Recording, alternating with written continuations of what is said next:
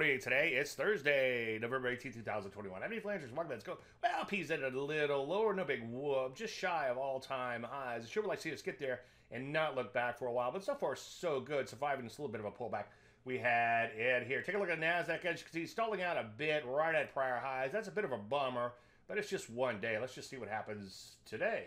Take a look at the Rusty. Although it pulled back a little bit in here, down percent in the third, still looks pretty good though. So far, just looks like a correction, and so far it looks poised to make a new leg higher. Energies are losing a little steam in here. Make sure you wait for an entry should you go after anything there. A little bit concerned about that area. Longer term though, still looks pretty good. Retail off to the races, but came right back in. Longer term though, as you can see, it looks pretty good. Yeah, here. For the most part, most areas looking pretty good. A few areas banging out new highs.